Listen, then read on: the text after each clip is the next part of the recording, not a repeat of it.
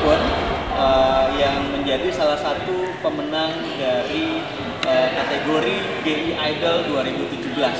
Uh, gimana Pak Yudi uh, sebagai pembina galeri uh, mengikuti kegiatan ini kesan-kesan dan uh, ke depannya bagaimana?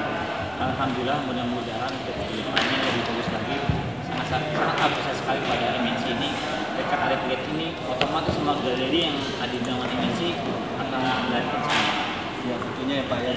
Oke.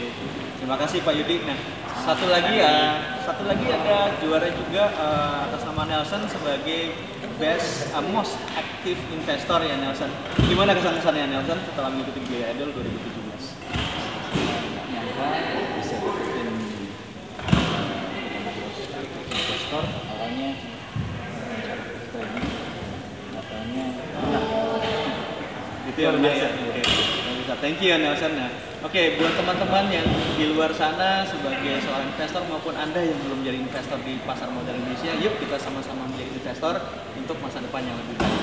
Oke, saya tutup Gay Idol 2017. Idol banget. sukses